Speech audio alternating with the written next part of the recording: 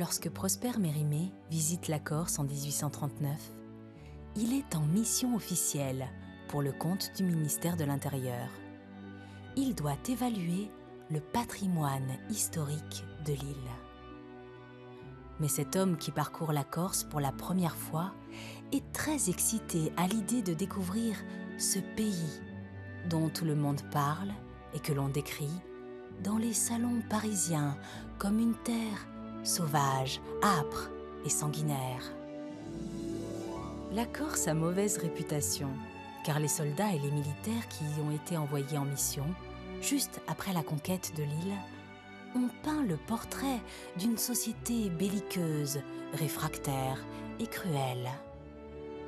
Mérimée a lu des récits ponctués de meurtres et de vengeance, où la vie d'un homme peut être sacrifiée pour des questions d'honneur, pour des propos déplacés, des promesses non tenues.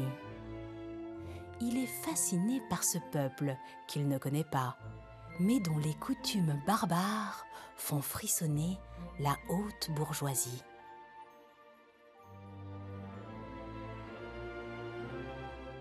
Le travail de Prosper Mérimée dans l'île ne s'est pas arrêté aux seules descriptions des monuments historiques. Partout où il s'est rendu, Mérimée a cherché à collecter de l'information sur les us et coutumes des habitants de l'île. Il a demandé à ce qu'on lui raconte des histoires et des faits divers, parlant de bandits ou de vengeance. Il a fidèlement transcrit et traduit les chants et les prières que l'on récitait. Il a réuni des notes sur les rituels qu'il voyait. Il a cherché à comprendre les hommes à travers cette société traditionnelle qu'il découvrait.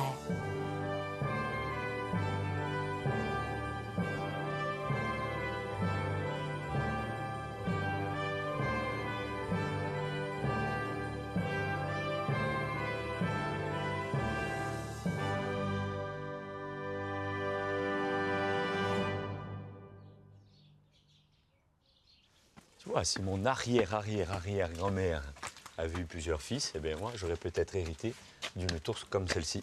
Mais alors moi j'ai lu que cette tour seigneuriale datait de 1548. Alors ça serait ton arrière, arrière, arrière, enfin euh, très loin Ouais, chez moi, ils vivaient longtemps, 20, 50 ans en moyenne, donc ça fait 1, 2, 3, 5, 6, 7, 8. Mais enfin loin quoi. Ouais, 10 générations, ouais, c'est vrai. T'imagines un peu là, la taille de la tour. Elle est quasiment imprenable. Là, pour monter, là, ah, avec des bonnes chaussures, ça peut le faire. Impossible. Ouais. Et là-haut, tu vois, les fenêtres, à la place, il y avait des petites meurtrières. Et là, il devait y avoir des arbres à l'étrier, tu vois. Pas très pratique ça hein, pour euh, aérer les chambres et la cuisine. non, mais en même temps, ça protégeait bien des assaillants. Et puis c'était pas leur priorité. Hein. Ouais, c'est ça. Ah, T'imagines là, avec un arc, avec un grappin. Tu as vu ces pierres d'angle et cette base large comme ça? Ça c'est du costaud. Du solide. C'est un vrai château en fait. hein. Ça qu'est-ce que c'est Les restes d'un machicoulis? Ouais, machicoulis ou, ou bretèche. Et on, ah, on jetait de l'huile bouillante de là, c'est ça? Enfin, de l'huile, ça coûtait cher à l'époque, donc ils devaient euh, forcément utiliser de l'eau. hein. Ça coûtait moins et ça faisait euh, Le même très effet. mal, hein. ça brûlait quand même. Et à côté, on a, euh, tu vois, les morceaux qui dépassent, là, les pierres. En fait, on avait l'emplacement d'une échauguette. Et là aussi, ça servait à, à lancer des projectiles sur les, les assaillants. Pourquoi tu me dis que si ton arrière, arrière, arrière, arrière grand-mère avait eu plus de fils, tu aurais pu toi aussi avoir une tour comme ça? Mais c'est simple, les grandes familles corses se sont bâties sur le nombre de fils. Ouais. T'imagines, une famille, le père et la mère, ils ont 10 enfants, 10 garçons, donc potentiellement 10 hommes, 10 hommes bien armés, donc la puissance de la famille. Mhm. Et en face, tu as une famille avec un ou deux enfants, donc ils ne font pas le poids. Vrai. Ensuite, tu as des nobles qui vivent aussi dans, dans- dans le secteur, et ces nobles, face à des grandes familles puissantes, qu'est-ce qu'ils vont faire? Ils vont les anoblir. Et à partir de là, ils seront encore plus puissants. Donc, ça, ça tient un peu de choses. Soit tu es issu d'une famille nombreuse et tu bascules du côté de la noblesse, soit tu es une famille peu nombreuse et tu bascules du côté du peuple de la populace. quoi. mon pauvre Polo. Il t'a manqué jadis de quelques frères. C'est bien vrai. Et en fait, ces maisons qui sont construites au XVIe siècle, hein, euh, tu as vu la taille de, de la bâtisse, c'est une maison forte. Et là, le XVIe siècle, c'est aussi le, le siècle des razzias. Donc Ouais. il y a des pirates qui arrivent, les barbaresques, qui, qui vont débarquer sur les côtes et vont monter jusqu'à l'intérieur des, des terres, dans les villages. Ils vont piller, tout saccager. Ils vont prendre des gens, des femmes, des enfants pour en faire des esclaves. Ouais. Et par contre, ils ne vont pas se heurter à ce genre de bâtisse Ah bon bien, bien, bien armée, puisqu'à l'intérieur, il y a quelques, quelques soldats qui vont donner du fil à retordre à, à ces barbaresques. Donc finalement, seules les familles très riches et puissantes pouvaient, euh, pouvaient posséder de tels édifices. hein? C'est bien ça. Et puis, on- les- les- ces édifices-là ne se sont pas construits comme ça. Il fallait euh, demander à la République de Gênes. Ah. Ouais, c'est les Génois qui octroyaient le permis de construire. Et ils donnaient aussi le, le port d'armes à, à des gens qui leur prêtaient allégeance. Et notamment, la famille d'Ouras, c'était des pro-génois. Hein, ils se battaient aussi contre les, les et leurs adversaires, les seigneurs de la Roque. D'accord. Donc en fait, avoir une telle maison, c'était pas seulement pour euh, se protéger ou pour euh, sa propre sécurité, mais c'était aussi une marque de, De puissance. de puissance, de haut statut social. hein. Ouais, Alors que la plèbe, elle, euh, devait fuir dans les montagnes très loin pour échapper au Turcs. Eh ouais, c'est ça. Et comme nous, on est une famille de coureurs des bois, ben, mes ancêtres ont dû euh, foncer pour, euh, pour rejoindre la- les cimes là-haut et, se cacher dans les montagnes. Sans s'escaper dans la montagne. En tout cas, elle est vraiment très belle. Ouais. Moi, je resterais bien ici, tu vois, sur cette petite placette, avec une belle casouche, d'époque en plus. Là, je suis bien. Soleil. Viens te mettre un peu ici au soleil, il fait bon. Et ça, je pense que ça doit être un banc d'époque. Et Mérimée devait se mettre là, en pensant à toutes ces nouvelles, en inventant tout un tas de choses. Ouais, tu crois que Mérimée se met au soleil, toi? Ouais. Pourquoi? Il était blanc, il avait la peau laiteuse. si je restais là, coup de soleil, là, bien à vache, hein, Prenez une coup de soleil. ouais, cœur de bœuf, tu vois. Ah, j'ai chaud, j'ai chaud.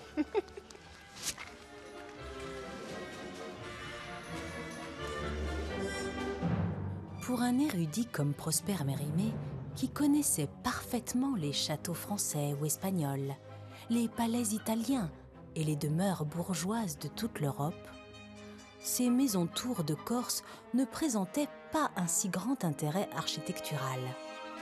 Elles étaient à l'image du pays, robustes et austères. Elles ne brillaient en réalité que par les histoires et les drames qui s'y étaient déroulés et qui renvoyaient à ces querelles familiales, à ces vengeances qui faisaient toute la réputation de l'île.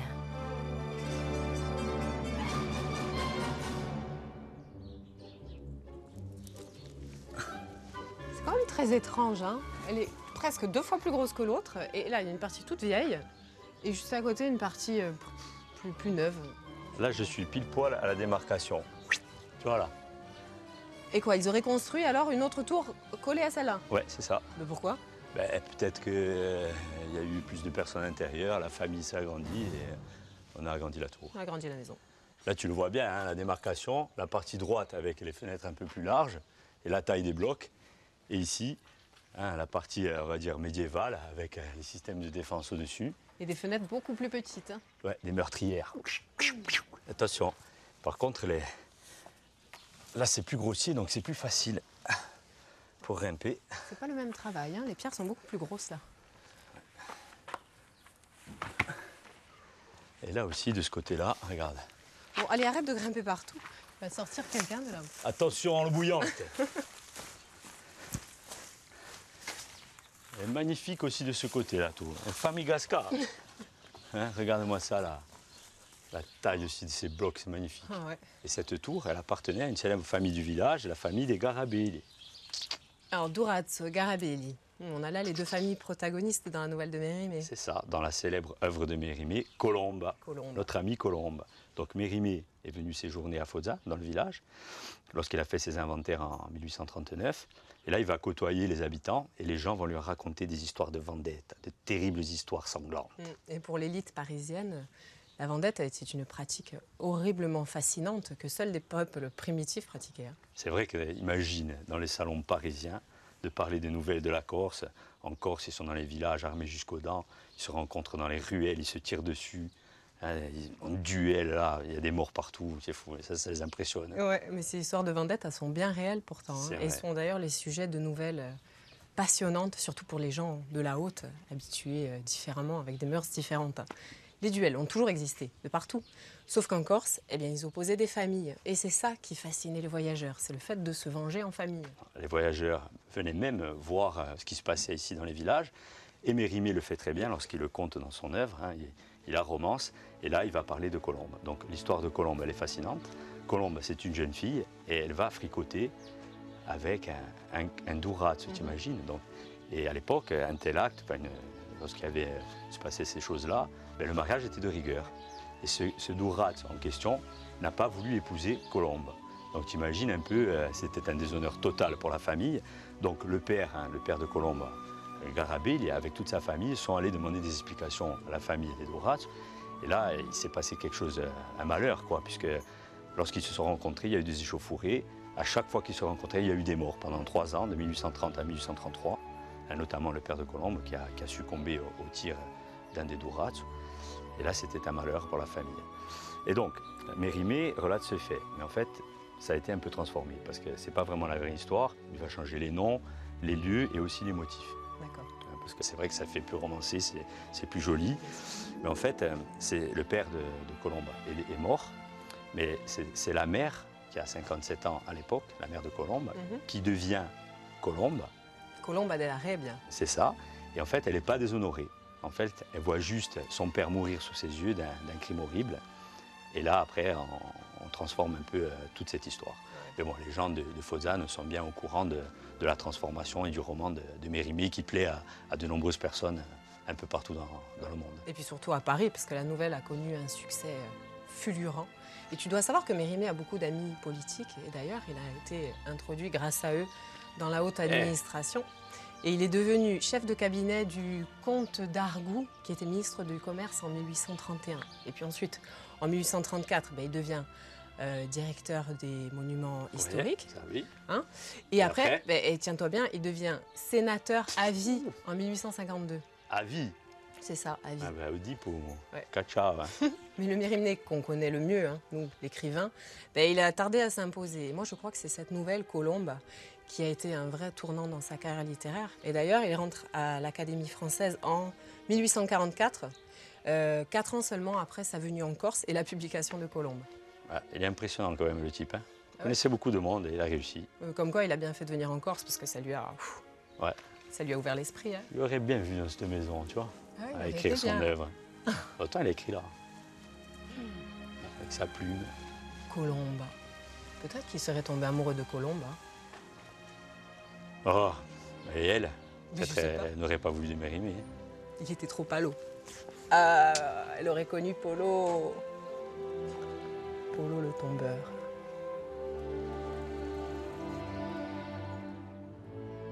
Prosper Mérimée n'a séjourné que quelques jours à Fozzano.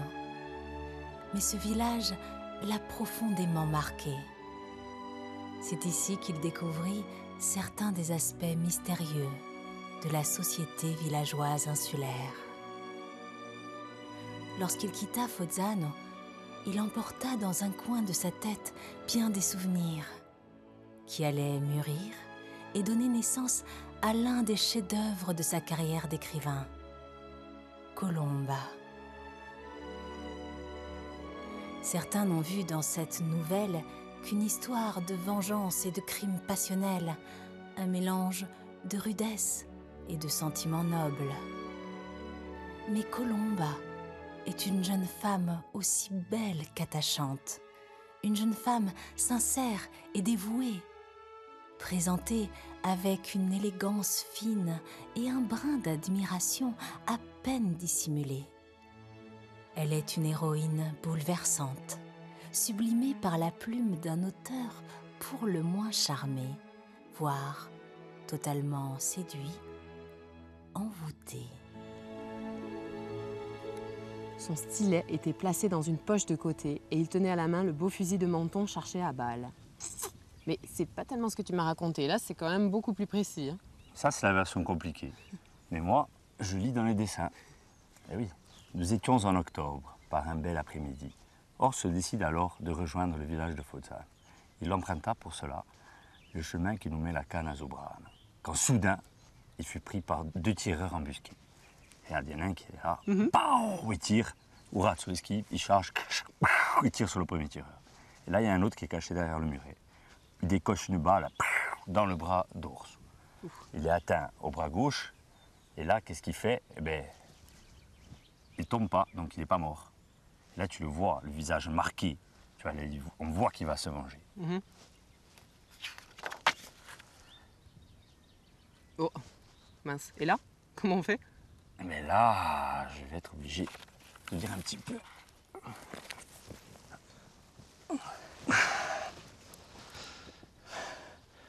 Le berger s'était emparé du cheval. Hein? Ce con on est. Mais il avait laissé tomber ses brides. Hein? Et paraissait saisi d'horreur, pendant que le cheval, qui se sous venait de la do, do, Dominique.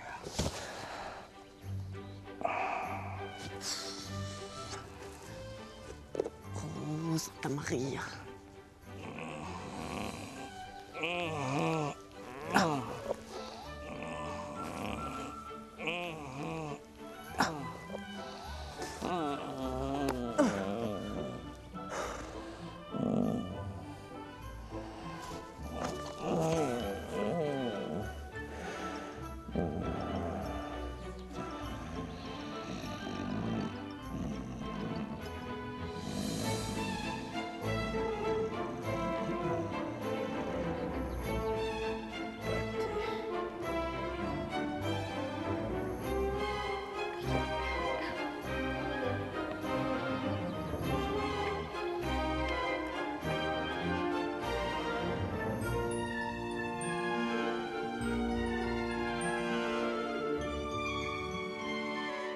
C'est là toute la magie de la littérature, celle de pouvoir transporter les esprits dans l'imaginaire.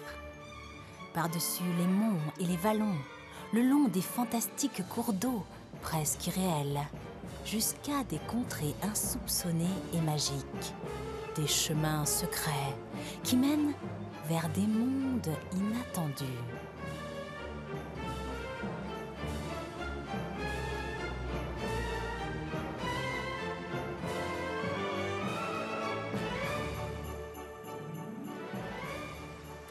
Karine, regarde. Regarde bien. Qu'est-ce que tu fais? Je fais la classe, regarde.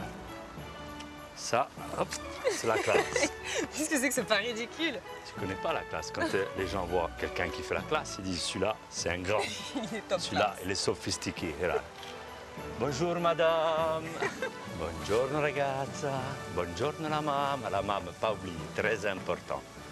Oh, fais voir toi. T'es une belle gueule, hein? Et toi, Karine, pour toi, c'est quoi la classe? Ah, je sais pas moi, c'est, euh, je dirais quelqu'un de poli, euh, Si, bien si. élevé, élégant, avec la barbe bien taillée, de belles mains, des ongles bien propres. Ouais, en parlant d'ongles, euh, je mériterais une petite manucure. hein. Je devrais les curer, tu vois. Ouais, mais tu feras ça ce soir avec la brosse à ongles. La brosse à ongles. Pourquoi ça existe, ça? Bah, comment tu fais alors? Ben, Moi, je prends les ongles le plus long et tac, j'enlève le contenu. Pratique. Ouais, si tu veux. En tout cas, ce pont, je le trouve absolument magnifique. On dirait qu'il est tout neuf en plus. hein. Ouais, c'est vrai que c'est l'un des plus beaux de Corse. Ouais. Et c'est le pont du Spinakawa, le dos de cheval. Et c'est vrai qu'il paraît neuf, hein, tu as des pierres bien taillées, mais en fait, il est très ancien. Et là, il a subi des, des rénovations, puisqu'il y a eu une, une grosse tempête, une grosse crue Ouais. en 1993, où tu avais le Rizanese qui a gonflé, hein, qui est parti de la montagne. Et là, c'était une grande vague qui est arrivée là, donc qui a frappé sur le pont, mais le pont est encore debout. Et ensuite, euh, il a été rénové par la suite. Mais en fait, le pont, il est très ancien, il daterait du XIIIe siècle. Ah oui, quand même. Ouais, les historiens euh, disent enfin, que, que ce seraient les Pisans qui l'auraient construit ici. Pisan. Ouais. Bah, pourtant, il a toutes les caractéristiques d'un pont génois. Bah, Pisan, Génois, c'est à peu près la, la même époque. Et c'est vrai qu'il a les mêmes caractéristiques. hein. Tu as deux tabliers sur les côtés. Après, tu as, le- en fait, tu as la grande arche en dessous, un, pont à arche unique. Et là, où, où tu es assise, là, ça, c'est le, le parapet qui permet en fait de- que les, les passants, les animaux ou les charrettes ne puissent pas tomber euh, de chaque côté de, de la rivière. Et alors, c'est vrai que, que les Génois, eux, ont construit euh, des milliers de ponts sur la Corse euh, au cours du, on va dire, du 15e et 16e siècle. Hein, et c'est là qu'ils ont, ils ont commencé à, en fait, à dynamiser les- tous les territoires. Donc, il y avait ces ponts qui permettaient de, de- de passer. Il y avait les armées qui passaient euh, un peu partout sur les territoires, qui contrôlait toute la Corse, mais aussi les muletiers, les bergers, les habitants. Et celui-ci, en fait, euh, servait à la liaison euh, des, des- des gens qui vivaient sur les villages d'Arbela à Fossane Mhm. pour relier Sartène. Certaines. La plus corse des villes corse, comme disait Mérimée. Ouais. Mérimée, tu vois, lui, il était très classe, très chic, très, élégant. Il avait peu. toujours le petit courpette ou la veste. Ah, Ah, ben voilà, ouais, mais tiens. tiens, regarde, le nœud pape. Bon, il faut imaginer euh, avant. Hein. Ouais, là, il est un peu âgé, mais bon, il a quand même la classe. Tout rasé de près. Les cheveux un peu de, de brillantine. Ah, grâce, hein. Bon, regarde. Ah, de ça, les sourcils. Et là, il devait. Je sais pas comment il faisait, Il a mais. utilisé une brosse à sourcils. Une brosse à sourcils. Bah oui. Brosse à ongles, brosse à sourcils, brosse aux oreilles, brosse à ongles des pieds, parce que les pieds et les mains, il faut pas mélanger. Eh ben,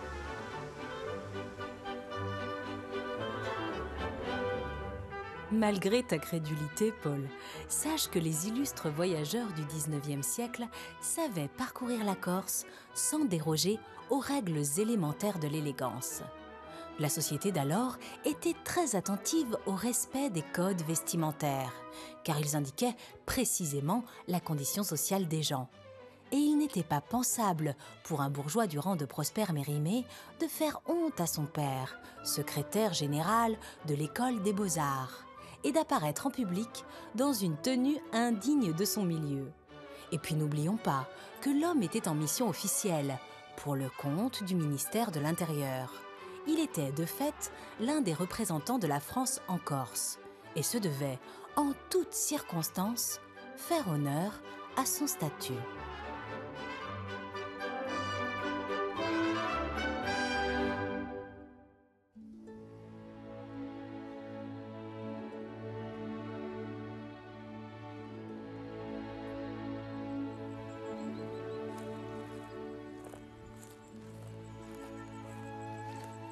Quand je pense tous les kilomètres que Prosper a parcouru, C'est vrai qu'il a dû en faire quelques-uns. t'imagines, il devait s'arrêter dans chaque village pour changer de, Des chaussures Des chaussures, ouais. À mon avis, il a fait le trajet avec les mêmes chaussures. Il devait changer de porteur, de mule. Ah oui, Hein, parce qu'il avait un- Et tout un attirail, lui. Il devait s'arrêter dans les auberges, de temps en temps, hein, se boire un petit canon, sais. Petite chopine. Ouais, une chopine. Ouais, il en a fait. Hein. Agida des Artés. Elle est belle vue d'ici. hein. Elle est un peu construite euh, à la façon d'un village médiéval, tu sais, en, en colimaçon comme ça. Ouais, on a grandi, nous, là. Ouais, avec toutes les vieilles maisons agglutinées les unes contre les autres. C'est beau. Et par la suite, il s'est quand même étalé. hein. Ouais, le village a grossi. Matteo Falcone, qu'est-ce que tu en penses? Falcone, ça n'a rien à voir avec Sartène. Non, mais euh, je, je- je pensais à ça. Donc Mérimée, on parlait des œuvres de Mérimée, Colomba et Matteo Falcone, du coup. Et quand j'ai lu Matteo Falcone, j'étais petit et je l'ai lu entre les lignes. Puis ça m'a pas vraiment plu. hein. Mm. C'est un peu, un peu lourd et un peu dur. hein. Ouais. Peut-être aujourd'hui, euh, ça me plairait. Bon, en tout cas, moi, ça m'a fait froid dans le dos. hein. C'est l'histoire de ce pauvre jeune adolescent qui a caché un fugitif contre une pièce d'argent. Fugitif qui était recherché par les gendarmes. hein. Là, bah, les gendarmes, exactement. Ils sont arrivés et ils ont essayé de le faire parler et ils l'ont soudoyé en lui proposant une montre en argent. Oli Brouti. Ouais, bah, écoute, le jeune homme, euh, par cupidité, a accepté et du coup a dénoncé le pauvre bonhomme qui s'est retrouvé en, en cabane. Et le père du jeune homme, quand il a appris cette, euh, cette euh, histoire, eh bien, il a décidé de tuer son fils pour laver le déshonneur que cette dénonciation cupide aurait pu faire porter sur sa famille. Moi, je trouve ça un peu exagéré comme euh, réaction. Ben, moi, c'est vrai que ça m'a pas vraiment plu. hein. Bon. Mais bon, ça, c'était avant hein, quand même. Parce que Mérimée, quand il écrit Matteo Falcone, il n'est jamais venu en Corse. Mhm. Et à l'époque, à cette époque-ci, il est jeune, jeune homme. Et là, il fait plutôt la vie de dandy et, et il a plein de maîtresses d'ailleurs. Ah bon, il collectionnait les maîtresses. Un petit peu. Et d'ailleurs, il a, à cause d'une maîtresse, il est, il est touché en duel par, par le mari de, de cette Marie Lacoste. C'est vrai? Ah oui, c'est vrai. Enfin, on a quand même été un peu dépeints comme des barbares. Mais il faut dire que Mérimée s'est servi de la Corse comme d'un décor euh, un peu exotique. hein. Et puis c'est Ouais. vrai que quand euh, il a écrit cette nouvelle, il avait que 25 ans. Ouais. Mais il faut dire que par la suite, il a quand même œuvré pour le patrimoine insulaire et je pense qu'on lui doit bien ça.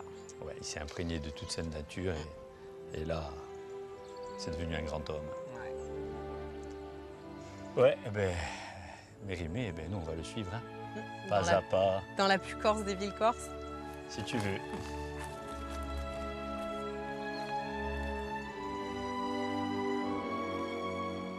Lorsque la nouvelle Colomba paraît le 1er juillet 1840 dans la revue des Deux Mondes, le succès est immédiat. La nouvelle fait le tour des salons parisiens et toute la haute société ne parle que de cela pendant plusieurs semaines. Prosper Mérimée accède alors à la notoriété. Une notoriété qu'il doit en partie à Valentine de une femme mariée avec qui il eut une vraie histoire d'amour. Une femme de lettres qui corrigea le manuscrit initial et en fit modifier le dénouement, afin de rendre l'histoire de Colomba encore plus mystérieuse.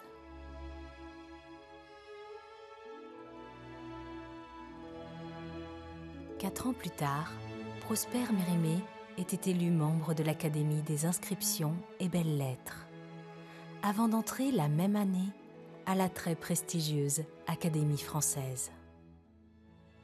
La carrière de l'écrivain venait de prendre son envol.